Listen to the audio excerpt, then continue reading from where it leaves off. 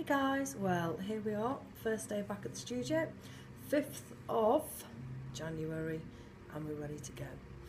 Okay, so we are going to be putting on some new beginner courses, um, hopefully within the next week or so we just need to get back to reality and back to normality and get all our members settled in again.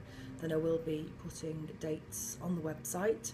We are looking at a Thursday evening, 7.15, so if you are interested in that, it's www.bodycorepilates.co.uk.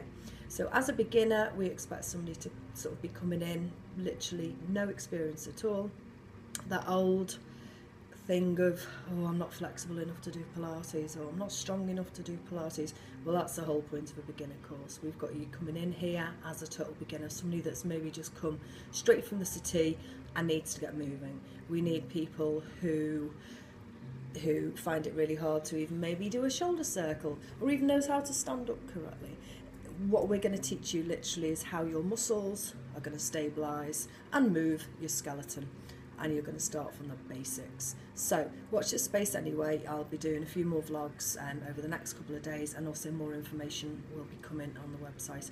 We do do beginner courses. We have two every single night. So obviously, you know, we do have other spaces, but this will be just a course starting from scratch, 7.15 on a Thursday. As I say, more information will be put on the website over the next couple of days. All the best for 2015. Thank you.